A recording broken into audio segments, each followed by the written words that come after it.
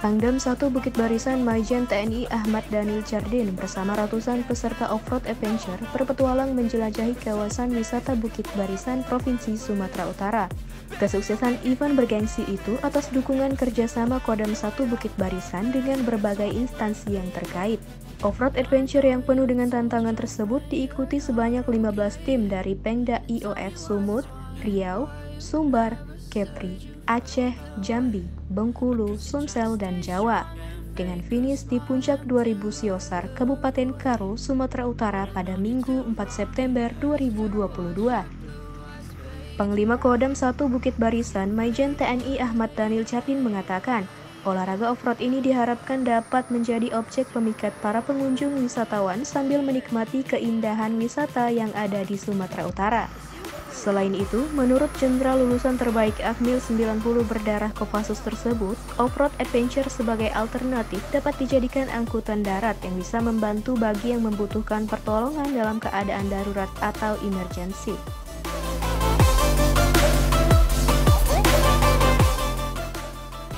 Kita berharap apa yang sudah berjalan ini dapat kita uh, lanjutkan dengan kegiatan-kegiatan lainnya Kemudian juga ini bagian dari upaya kita untuk uh, mencintai alam, melindungi alam yang ada.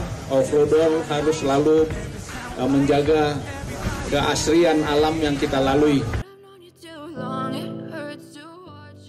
Pangdam Maijen TNI Ahmad Daniel Chardin juga mengharapkan dengan terselenggaranya event ini, selain dapat meningkatkan kembali olahraga off-road, diharapkan juga dapat menjalin silaturahmi di kalangan para pecintanya.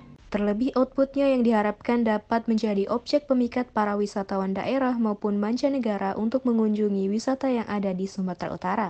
Sehingga para wisatawan dapat berpetualang sambil menikmati keindahan wisata Indonesia khususnya di Sumatera Utara.